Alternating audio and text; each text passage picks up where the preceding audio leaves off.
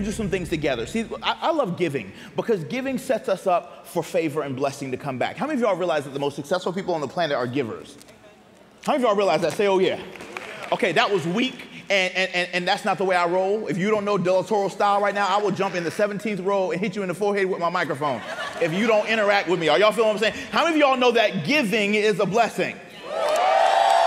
Please, please do me a favor and write this down. Poverty is selfish because when you're broke, the only needs you can focus on are your own. I'm gonna say it again. Text that, tweet that. Come on, somebody. Poverty is selfish because when you're broke, the only needs you can focus on are your own. So, my goal this morning is to help you grow in the area of where God wants to take you in terms of your destiny, your dream, your vision, your future, as well as your finances. Is that all right? Somebody say hallelujah. hallelujah. Because if I can help you grow in that area, it's easy to give. How many of y'all realize it's easy to give when you got enough? Come on, somebody.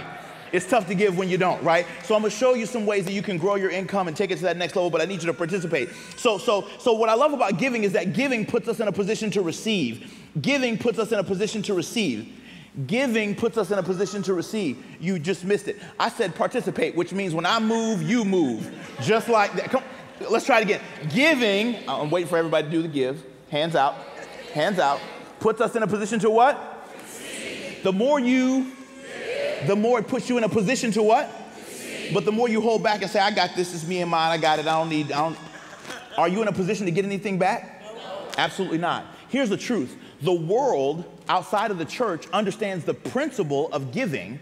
So that's why business people can give and get huge returns without even being in the church and loving God, and they get the result while we're in church bucking and shouting, not giving. Come on, somebody, and we're struggling. Can I just tell the truth? Somebody say, Oh, yeah. Oh, yeah. It's time for you to go to the next level. Say hallelujah. hallelujah. All right, so I need you to participate with a brother. Number three, I need you to embrace the fact that the principles that I'm getting ready to share with you are for you. It's not just for the corporate church, it's for every single one of you all in this room. I believe that over the next few minutes that we have together, God's gonna do some crazy crunk stuff in this room. Do you believe that? Shout hallelujah. I'm talking about crazy crunk ninja stuff. But in order to do it, you have to embrace that it's for you. It's not for your neighbor, it's for you. So I need you to make it personal. Will you make it personal? Yes. Okay, good. If you're willing to make it personal, I guarantee I'll change your life. Number four, I need you to make a decision to pick how you're going to challenge God. In your giving envelope, you're going to see an area where you get to choose what level you want to challenge God on. And I want to give you an example of what I mean by that. I'll never forget the year that my speaking career hit a quarter million dollars for the first time. That year, I set two goals every year. Write this down, y'all. Set financial goals for yourself every year. Set how much money you want to make, but also set how much money you want to give. I've been doing that for over 15 years. God has blessed me exponentially, all right? But watch this. The year that I set the, two, the, the quarter million dollar goal for my business, that same year I said, if I hit that goal, I'm gonna set a higher goal the following year. But I said, Lord, I want to be able to give to my church $25,000, okay, in the tithe, and another 10 in my offering. That was my goal. That was Delatorro's goal. I said, if I hit that goal, I'm gonna buy myself a Louis. So I bought myself, I'm just keeping it real. Ain't nothing wrong with having nice things. There's just something wrong with nice things having you. You feel it, brother? I just want to use an example. Leave me alone. Don't judge me. My self-esteem will get affected. So hear me out. so check this out. So, so, so, the, so, so the year that I hit uh, uh, uh, uh 250, I hit it in the business. I sold the tithe, of course, and then I sold the extra 10 in the offering. And, and then I, I, went out and bought my bag. Now I've had that bag like six years, six, seven years at this point. And I love it. But I gave myself a reward for achieving a big goal. Does that make sense? And I made sure that God's agenda was on my agenda. Did y'all hear what I just said? I made sure that God's agenda was on what, y'all? My agenda. So, my question is are you making sure that God's agenda is a part of your financial agenda? Make sure that not only through your tithing, but through how you participate in this program, that God's agenda is your agenda because the moment you get involved in His agenda, He begins to hook you up with favor, with doors. With, how many of y'all know that God can do in one thing what it could take you years and years to try to do? How many of y'all realize that? So, so, so, so, so, so, so, so, so trust me, hear your boy out. I, I, think, I think stock market and I think the NASDAQ and the S&P, I think all that stuff is wonderful. But there is nothing on this planet more powerful than God's economy. And when you jump on board with God's economy, He hooks you up in ways you cannot even possibly dream or, or imagine. I'm ready to teach. Are you ready to roll? Say, let's do this, Dell. Shout it like you mean it. Say, let's do this, Dell. There's five principles that I want to share with you, and I'm and, ooh, and today's message is going to be pretty. I was a good catch. Wasn't it good? I was like, dang. There's five principles I'm going to share with you, and they're all part of the Temple Centurion program. But here's what I believe. I believe that the number five is very significant. Five is the number of grace. Five fingers on the hand. The Father told me to tell you this that the hand of God is extended to your life during this season. Do you receive that? Come on, somebody. As you partner with this program, the hand of God is going to be extended towards your life in this season in a very special way. I don't know about you, but do anything you want to me, God, but don't take your hand off my life. Come on, somebody. Are y'all with me up in here? I can go through any storm as long as I know your hand is on my life. Does that make sense? Anybody ever been in that place where you felt like you couldn't feel God moving in your life anymore? It's a bad place, right? So whatever you do, God, keep your hand on me. Amen. I'm gonna teach you five principles that I believe will bless your life profoundly. Are you ready? To say number one. Y'all said that with no energy, no passion. Shout number one. Say launch. Launch. God wants to launch you. God wants to launch you. This is the time, this is the season, this is the moment when God wants to do a new thing in your life and He wants to launch you to a higher place and a higher level in Him. How many of y'all realize that God is interested in launching you?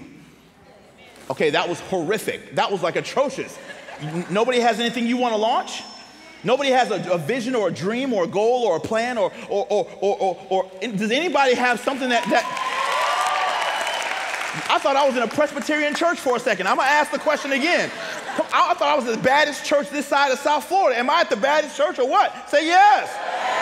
Who has something in this room? Holler back at your boy. Who got something you trying to launch? Okay, okay, okay, cool, cool. The definition of launch, listen to this, is to set forth, to catapult, or, and here's the part that I love, to release as a self propelled vehicle or weapon to release as a self propelled vehicle or weapon. I need you to understand something powerful. God is trying to launch you in this season, and in this season, He wants you to be self propelled. Here's what that means God's not gonna do for you what you can do for yourself. It's time for us to stop being lazy, weak Christians. Oh, it's quiet. You don't like this part. Come on, somebody. It's time for you to get in the driver's seat of your life and understand that God is not going to do a lot of the things that you want to happen in your life. He's going to give you the strength and the ability and the know how, but you're going to have to pull it off yourself. Oh, we don't like that one. Come on, somebody. You see, you hear how quiet it got? Why? Because we want to give our tithes and offering and sit back and let it be hocus pocus. That's not the way the kingdom works. God puts his super on top of your natural, and you got to get involved in your miracle, involved in your launch, and involved in your breakthrough if it's going to happen. And it ain't going to happen through no hocus pocus, baby. Are you feeling me? Somebody say launch. You're going to have to do, I want you to write this down. I want you to pray as if it all depends on God, and I want you to work like it all depends on you. I want you to pray like it all depends on the Father, but I need you to get working as if it all depends on you. You've got to get in the game because God is trying to launch you. Now, I need you to understand something powerful. The Bible says in Ephesians 3:20, "Now unto him who is able to do exceedingly abundantly above all." And we buck and shout over the exceedingly abundantly above all part, but I'm gonna need you to come out of the shout for two seconds to hear me. Now unto him who is able. That doesn't mean he's gonna do it. That means he's able to do it. Come on, somebody exceedingly abundantly above all that we could ever ask or think, according to, which means it's in direct proportion to what? The power that works inside of who, y'all? You. Which means you got to get involved. You got to get moving. You got to make this thing happen. It's time to launch. Tap your neighbor on the shoulder and say, I might not know you, but here's a clue. It's time to launch. Say that. Say that to your neighbor. Say that neighbor. Say that to your neighbor. Say it's time to launch. It, it, it's time for you to launch. One of the things that keeps us from launching is the fact that I believe that many of us have settled in life. And what I mean by this, that is this. There was a lady and she was, she was, a, she was a boxer. So one morning she was jogging and she sees an old man sitting in a rocking chair and she sees this old howling dog laying down right next to the man. So she's jogging and she's hearing the dog bark. She gets close to the house. She goes past the house. Y'all like my barking noise? So she runs back to the house. She said, man, why is your dog making all this noise? And he said, Well, ma'am, it's simple. It's simple. He's laying down on a nail. And she was like, Well, ouch. Well, why didn't the dumb dog just get up and go lay somewhere else? He stops rocking in his rocking chair, takes a straw out of his mouth, and said, Well, ma'am, it's obvious that it doesn't hurt him bad enough. And before you laugh too hard, many of us in this room have something in our life that's poking us. You look so cute right now. and it hurts you bad enough to complain about it. Come on, somebody. But it doesn't hurt us bad enough to get up and change about it.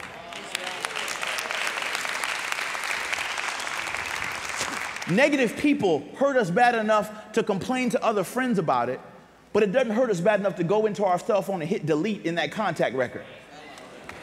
Massive amounts, of, massive amounts of unsecured credit card debt hurts you bad enough to complain about it, but not cut up the card. You're not in the building. Come on, somebody, talk to me up in here. Are you feeling me? So, so what we've done is we've become comfortable with compromise. And Christ did not pay the price for you to be comfortable. Christ paid the price for you to be extraordinary. Are y'all with me? Come on, somebody. And let me ask you a question. Why would you settle, instead of launching and doing everything that God wants you to do, why would you settle for the nail when Christ already took the nail for you?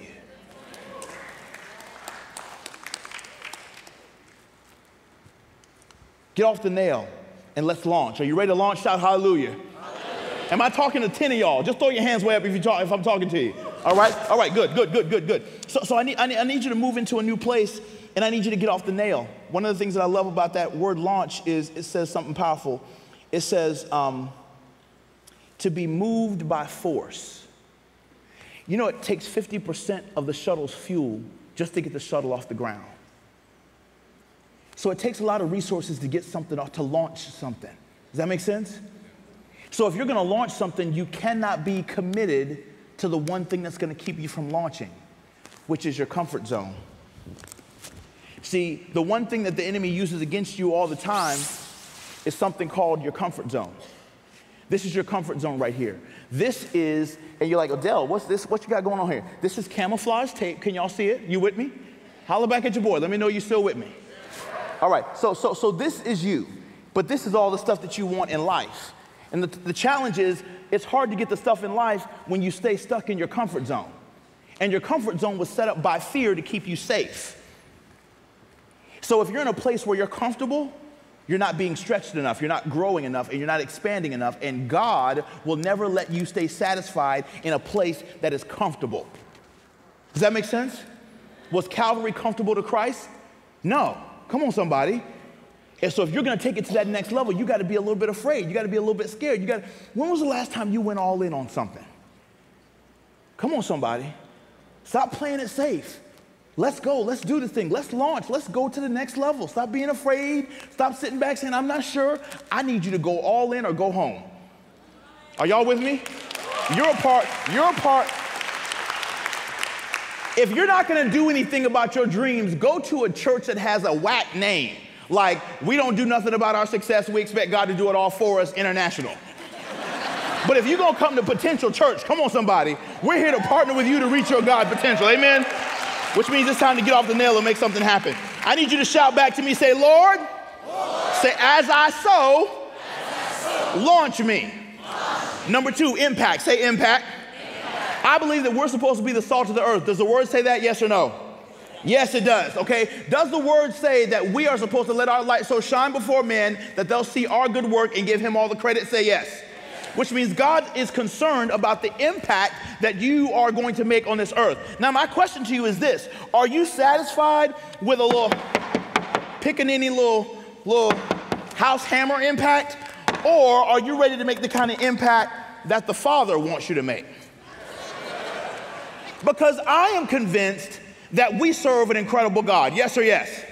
Holla back at your boy Delatorro. Do we serve an incredible God? Yes or yes? yes. We serve a God that came and, and, and, and Jesus spent 30 years preparing for three and a half years of sledgehammer. He spent 30 years marinating. Come on, somebody. For three and a half years of sledgehammer. And God wants me to tell you that it's time for your impact to go to the sledgehammer place. Come on, somebody. You ain't loud enough. You're not making enough noise. People don't hear you. Come on, somebody.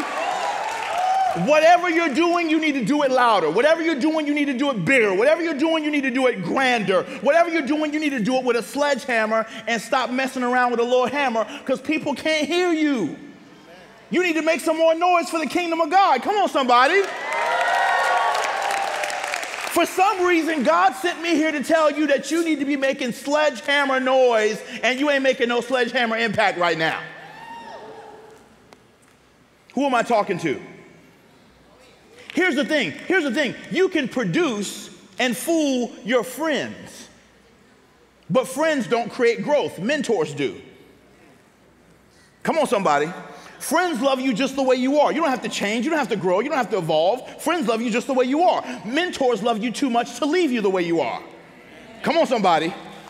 So, so, so, so, so, so if, if, if, if, if you're gonna have the impact, and, and, and uh, uh, the definition of impact is influence. Come on, somebody. If you're gonna have the influence in the world, you need to use a sledgehammer. It's time for you to make more noise. It's time for people to hear about your business in a bigger way. Some of y'all are so gifted, talented, and anointed, and nobody knows because you ain't making enough noise. Are y'all talking to me up in here? Say, oh yeah. yeah. Open up your mouth and tell. The Bible says in Revelation they were delivered by two things the blood of the Lamb and the word of their testimony. You got to open up your mouth. You got to make a bigger sound if you're going to really create impact. Because I believe that God wants to use you to impact this world in a bigger way. Do you believe that? Say hallelujah. hallelujah. Say, it, say it like you mean it. Say hallelujah. I want you to re- repeat after me and say, Lord, Lord as, I participate, as I participate, grow my impact grow my impact. That's the prayer that I want you to pray as you sow your temple centurion seed. I want you to pray, God, grow my impact. I want you to pray that prayer. God, launch me and expect him to do it. And if you expect him to do it, some of y'all, some of y'all blow my mind. You give towards causes and you don't expect nothing. And when you don't expect nothing, you don't get nothing. Come on, somebody. You could put a baby up to the nipple of a mother, but if the baby's not hungry and they don't pull, nothing comes out. Come on, somebody. And half of y'all are going up to God empty. I dare you. I double dog dare you. I'll talk. I'll do the. I'll, y'all remember when we used to trash talk on, on the corner and we would double. We would do the dozens with each other. We would. Everything was cool till you talked about their mama. Y'all remember? That's the kind of dare. I double dog dare you to put God to the test and watch what He does in your life. Number three. Somebody say number three. Three. Elevate. God is ready to elevate you to another place. How many of y'all believe that? Shout hallelujah. God is ready to elevate you to another place, and it says to raise to a higher place, rank, or status. Here's what I believe. I, I need you to repeat after me. My current level, is the enemy to my next level. If you are pleased and satisfied with your current level, it's the enemy to your next level. You've got to be willing to leave the good to go for the great. Write that down. You have to be willing to leave the good to go for the great. Oftentimes, God will challenge you to leave what you know, to leave what's comfortable, Abraham, to go to a place I will show you later. Come on, somebody. Amen. And you have to be okay with the fact that God is elevating you to a place in order to do that. Now, there's a couple things that I need you to understand. Everybody, take your hand and put it out real big like this. Everybody put your hand out in front of you real big. I need you to understand something that's powerful. It's spiritual because the Bible says like attracts like, but it's also very financial and it's very, very proven with statistics and data and research. There, the, the truth is this you will become the average of the five closest people to you. You are the palm of your hand. The five closest people to your life are your fingers. You become who you hang around. Put your hand back down. If you want God to elevate you, you got to change your five. In this season, as you sow towards this offering, I want you to say, God, change my five. Come on, somebody. Change my five. Change. I'm tired of these knucklehead folks. I'm tired of these folks. I'm tired of social networking with people who ain't paying me. Come on, somebody. I'm tired of wasting my time with people who ain't going nowhere. I'm tired of having the same knucklehead conversation with folks who aren't growing and developing. Come on, somebody. Oh, you got you mad on that one. You mad on that one. But it, it, it's time to elevate and take some things to that next level. It reminds me of this of this little boy who was watching a man fish. I got to tell a story. Will y'all help me tell the story? Potential. That was that was horrific. Will you help me tell the story? Okay, cool. There was a little boy, and, and, and, and he, was, he was on the shore, and he saw this old man, and he was, the old man was fishing in the lake. Now, this old man was fishing, and he was catching big fish and little fish, and big fish and little fish, and big fish and, and big fish and, very good. And every time he would catch a big fish, he would throw the big fish back. And every time he caught that little fish, he would put that little fish on ice in his cooler. So this man was catching big fish and little fish, and big fish and little fish, big fish and. Every time he caught a big fish, he would throw the big fish. Every time he caught that little fish, he put that little fish on ice in his. You guys are telling a great story. Wow, you're doing a great job. So this man did this for about three hours, and all of a sudden the storms came. So the guy brings the boat back in. He begins to start walking home. The little man, the little boy is amazed. He runs up to the old man. He says, "Sir, hold on, hold on. You can't go home. What's, what's going on here?" He was like, "I've been watching you for three hours, and you were catching big fish and big fish and every time you caught a big fish, you would throw the big fish. Every time you caught that little fish, you put that little fish on ice in your." And I don't understand why you were doing that. Dang, y'all are telling a good story. Anyway, so he was like, why were you doing that? Why every time you caught the big fish, you threw it back? And the dude said, Well, man, I hate the fact that I had to throw back that big fish, but you see, back at home, I only have a little itty bitty frying pan.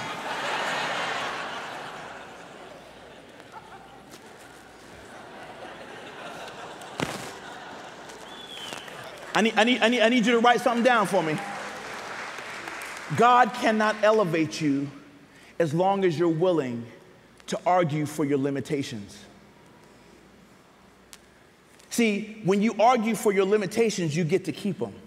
See, what happens is, y'all, God is trying to do a big thing in your life, but as long as you're willing to settle for little fish, come on, somebody, little people, little networks, come on, somebody, little connections, God can't hook you up like He's trying to hook you up because you're settling for stuff that's inside your what, y'all? It's inside your what? It's inside your what? Comfort zone, CZ. Wow, that sounds like another abbreviation for a piece of jewelry that tries to act like it's a real diamond. But it's not a real diamond, it's cubic zirconium. Come on, somebody. And your comfort zone ain't real, just like cubic zirconia ain't real. And you can't fake it till you make it. You have to face it until you make it and believe in the real thing and believe in Christ and believe in who God says you are and not your pickaninny, stupid knucklehead comfort zone. Are we friends? Come on, somebody. So, so here's my thought. If, if at the end of the day you're settling for this when God is trying to give you this, God's trying to elevate you. Come on, somebody. I, and I need you to stop looking at your bank account, stop looking at your neighborhood, stop looking up how, uh, at how many people in your family graduated before you, stop looking at all this stuff that you use your ethnicity, your race, your background, your culture, your creed, your single parenthood, every other excuse that you use to argue for this small pan and say that I serve a big, awesome God. Come on, somebody. And all I need, come on, somebody, all I need is some aluminum foil. Can I get somebody up in the house? Come on. Some saran wrap. Come on, y'all know what I'm talking about, right? Why are y'all laughing at me? And, and God can do with one big thing what it would take you a hundred of them little minnows to do. He's trying to elevate you. Come on, somebody. Say, Father. Father. Shout it. Say, Father in this season, as I sow, elevate me in Jesus' name. Put your hands together for that. Isn't that awesome, y'all?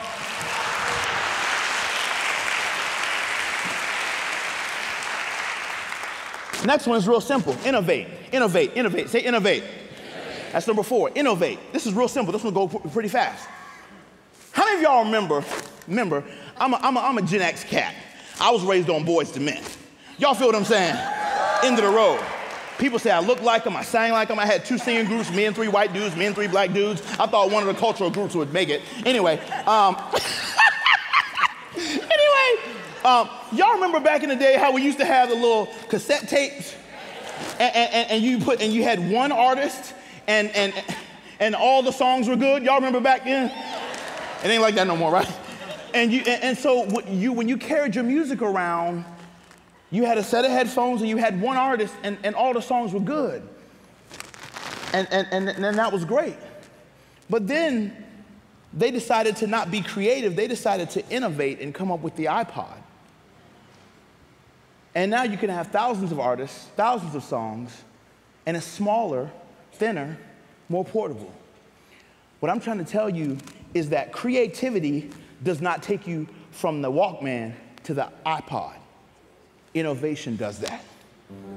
And the Father is trying to do something innovative with you, in you, and through you. Is there an area, innovate means to make something new or to create something from nothing? Let me ask you a question. Is there areas in your life right now that you need God to innovate? To take an old school thing and do something new with it? Is anybody in the building? Come on, talk to me. Can you think of something that God needs to do a new thing in? Bible says, any man be in Christ, he is a new creature. She is a new creature. Old things have passed away, and behold, all things become what, y'all? New. In what area of your life do you need God to innovate and do a new thing? Say, Father, as I participate, innovate in me. The Bible promises you in Proverbs that He'll give you witty inventions and creative ideas. Believe God for one idea that can make your entire financial future turn around. Does that make sense? He can do it for you. I've seen Him do it over and over in my life. I'd like to challenge you with principle number five accelerate. Say, accelerate. accelerate. I love this one. One of the things that God wants to do is speed things up. The Bible says in Joel that he will redeem the time and restore the years that the locust and the cankerworm ate up. How many of you all realize that, that, that you've lost some stuff over the last couple years and you need God to speed up the recovery of what you've lost? Can we just be transparent, take off our nice suits and our gated communities and our nice cars and be honest that we've lost a lot of stuff the last three to five years and it will be a blessing if God could accelerate getting those things back? Somebody shout hallelujah. Absolutely. But in order for God to give us back what we need, we have to do our part. And I'm gonna need my team to come out and help me with this last part. Because the truth is, we ask God to release the flow from heaven. And then we wonder why over here we don't get what we need. And there's a reason why we cannot accelerate, because the word accelerate means to speed up the velocity of something okay? And so what happens oftentimes is we ask God, we pray, we say, we say, do on earth as it is in heaven, and give us this day our daily bread, and release the flow from heaven. And, and we pray all these prayers asking God to release the flow. And He released the flow a long time ago. But the problem is, we're over here expecting to get it out, and it's not coming out on this end. How many of y'all have ever given and sown, and you've done all the stuff, and you're trying to get the, and you're like, and there's nothing there. Anybody in the building? Come on, somebody. Anybody ever question God about where the results are of your faith?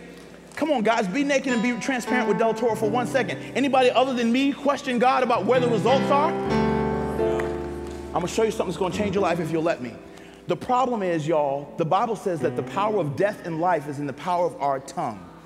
And what we articulate has a direct proportion to what we accelerate. So every time you say, I don't have enough money, you're tying a knot in the line. Come on, somebody. It's quiet in the building. Y'all better talk to me. Every, t- every time you say, there's not enough good jobs out there, you're tying a knot in the line. Come on, somebody. Every time you say, no, no they, they are not gonna love me again because I've been through a divorce. Come on, somebody. You're tying a knot in the line and it's preventing what he's already released. Did y'all hear what I just said to you? He already released it, but it can't get to you on this side. So here's my thought. Here, here, here's Delatorro's thought. Every time, come on, somebody, I need somebody with a Holy Ghost imagination to talk back to Delatorro right now. Every single time you experience and you see that there is a knot in the line of your face, I need you to use the knots in the scripture, come on, somebody, to untie the knots in your life. Come on, somebody. And you need to go up to that first lie that the enemy tried to tell you, and you need to say, God is not a man, come on, somebody, that he should lie, the Son of Man that he should repent. If he said it, come on, somebody, surely he will bring it to pass.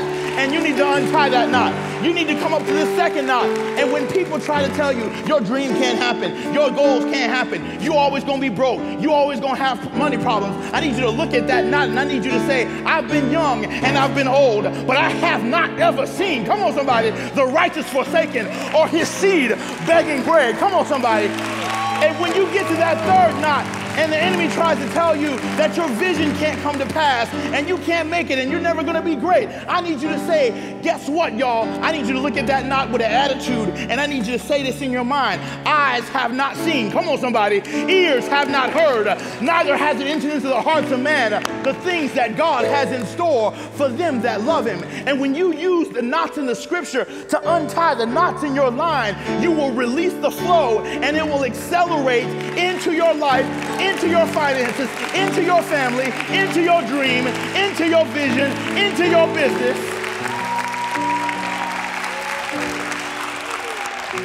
Am I talking to anybody? Shout hallelujah. I want to close with this.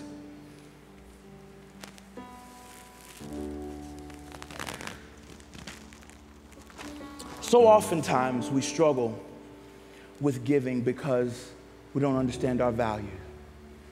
And I talk about this quite a bit in this program, and it'll really bless your life, the Thriving Program. But I have something up here that I'd like to ask you about. Who knows what this is? $100 bill, right? Does this $100 bill have good value? Could it spin well? Say, oh yeah. Anybody want this $100 bill? Okay, we all want the $100 bill. Don't run up here. Don't run up here. Don't run up here. Do not run up here. Do not come up here. Okay. I'm going somewhere. Watch me. This $100 bill has tremendous value. I don't care how much money you make. I make incredible money, but guess what? I still love a $100 bill all day long. Y'all feel me? Somebody say, oh yeah. What? $100 bill, I'll take waffles. Run. I'm sorry, I had a moment, I had a moment. Check this out. I love this $100 bill. I think it's great. But let me ask you a question. You all said you wanted it, but what if I fold it a couple times and throw it away. Who still wants the 100? Okay. What if I were to throw it on the ground and step on it? Talk about it, how bad it looks and all that stuff. Who still wants it? Um, what if I crinkle it up? And what if I look at it and say, you ain't nothing but a 100? You ain't no thousand, right? And I start assaulting, I start assaulting its self-esteem. Who still wants it? What, what if I was to even tear it in half? and then tape it back together. Come on, somebody. Who still wants it? What's my point? My point is simply this there is very little you can do to this $100 bill that will change its value. Its value doesn't change because of what it goes through. Come on, somebody. This is worth, watch this, watch this, watch this, watch this. This $100 bill is worth $100 whether it's in a Louis wallet, come on, somebody, or in a Kmart special wallet. It does not matter. It doesn't matter. So, so Dell, what are you trying to say? Uh, it don't matter if you used to live in a 5,000 square foot palatial mansion and now you got a little, little studio, 700 square foot, whatever, in the corner. Come on, somebody. Your value does not change in the eyes of God. You are still worth Calvary to Christ. Are y'all hearing what I'm saying to you? You are still worth Calvary to Christ. Amen? And when you know your value, you don't let nobody diminish your value. You don't let nobody say nothing to you that changes your value. You don't, you don't, you don't let no job loss or job transition or relationship, or you don't let none of that change the value of who you know you are in Him. Come on, somebody. What? My word says that you're the head and not the tail. Come on, somebody. My word says you're above and not beneath. My word says that the last shall be what? First. Come on, somebody. My word says that you're fearfully and wonderfully made. Be confident in who you are and who Christ called you to be. Everybody on your feet. I want to pray a simple prayer over your life. Have y'all enjoyed the last couple minutes we've had together?